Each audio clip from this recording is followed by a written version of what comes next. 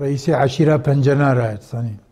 عشیره کی کونه درویش سعدو گلگند بیکند اثر به مصر جا نافچه سیرت یا باجار باکور کردستان جدایی بویه خورتانی خوشی لروجاوای کردستان آنگو لبن خطه در باز کریه Lomaji dibistana seretayê heta asta lîseyê li Bexdayê temam dike û duê navberê da jî ji bine malên eşîr û malbatên mezin û girîngiyên Kurdistanê kesayetan dinase û bandora wan jî Li doza gel û welatê xwe di civaniya xuda hişyar dibe. Derweşê Sedok wek neferekî rêbaza Barzaniyê nemir dihat nasîn û yek ji damezrênerê pedeketê bû, di heştê û şey saliya xuda çû ser dîlovaniyê û termê wî li gundê ku ji dayîk bûye bo axê hat spartin. Kurê derweşê Sado azadê derweşê Sado ji anî ziman ku ew mîrasa ku bavê wan ji bo wan hiştiye şanazin û dê ew ê jî heman dozê bidomînin. درویش سعد و میراث کی مزن شمرشت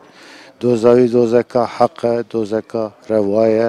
جبو کرد و کردستان بو اف دو سال سال کرد و کردستان بن ازاده بن دسته داگر کرده پرچقیه چاوی خو وکر چاقی چاوی خو وکر چاقی هات سر فکر کرد و کردستانی دست سیاست کر سروان هستا حتی ویگا حتی داویا عمری خود تا کوشینا خود بردوام کرد شبر ویجی ام پیش رفت سینن ام شانازی جت سینن ام کیف خوشین دوزاوی چونکی جبو ملت خو خوست گلک تشتاب که گلک جاراجی رولا خوی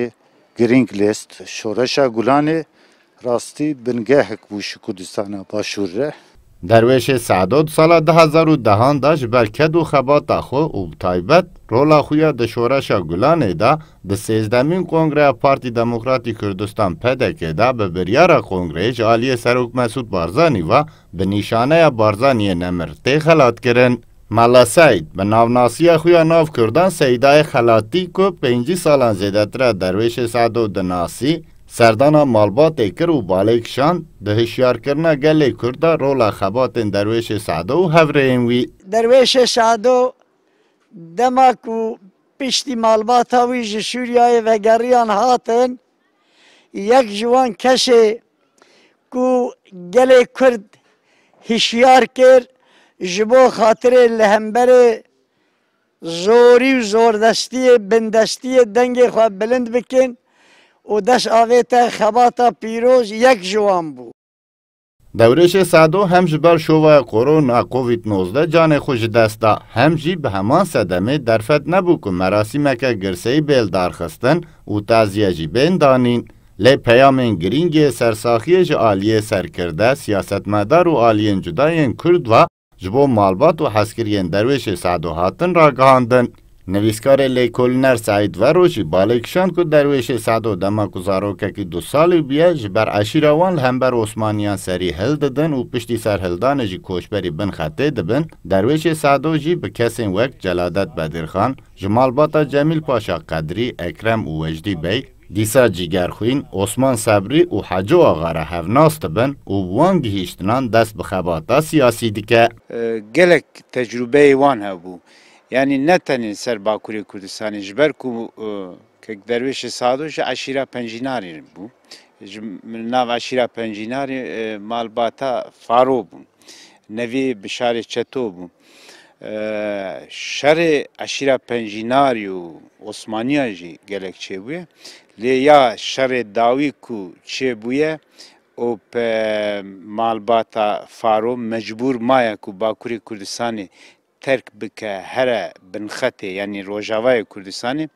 دوی دمه دا گلک روشنبیر و سیاست مدار کرد کلباکور کردستان مجبور روی بو بون هات بون نفکرن گلکی وان روجاوای کردستان برهف بو بو و درویش سادو لوی داره دناو کوما روشنبیر کرد دا مزند به او تکریه وان هم وک مال باتی هم وک شخصی